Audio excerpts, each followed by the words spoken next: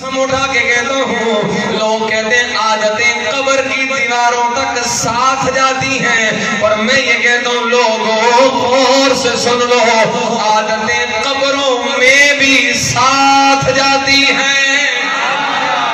नाथ पढ़ने की आदत, ये ऐसी अजीम आदत है, ये कब्र में भी तुम्हारे साथ जाएगी।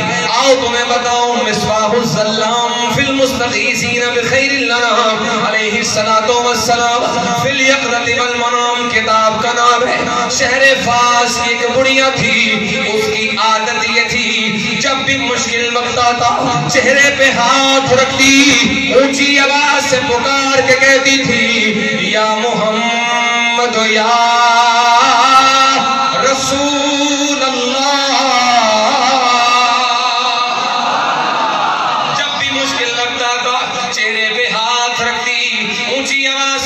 पुकार के कहती या मोहम्मद या रसूल अल्लाह एक दिन वो मर गई, इंतकाल हो गया, मर के कब्र में पहुँची, किसी ने ख्वाब में देखा, पूछा, बड़ी अम्मा, क्या बना? कब्र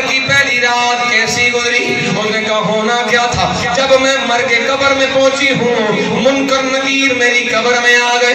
मुनकर नकीर मेरी कब्र में आ गए। आके मुझसे सवाल करने लगे।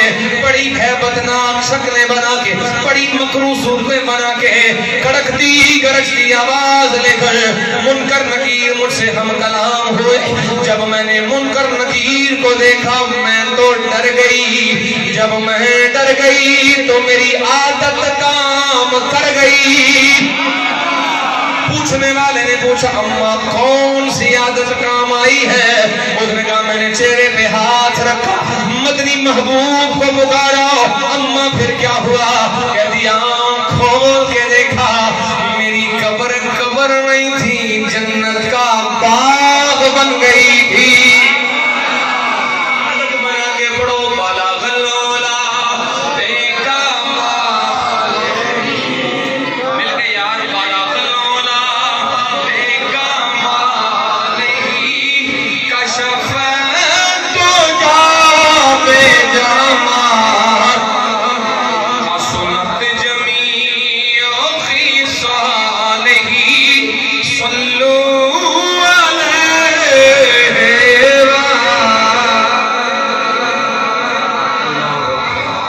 साहबा कराम का प्यार।